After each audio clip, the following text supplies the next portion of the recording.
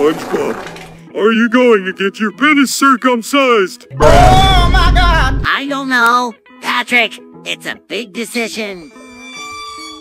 Well, from what I've heard, it's not really that big of a deal.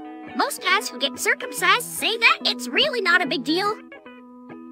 Yeah, I heard that too. I don't know, SpongeBob. I think Lol is more strategic. It is just spamming abilities and hoping. You're right, Patrick. LOL is more strategic, but Dota has a better community.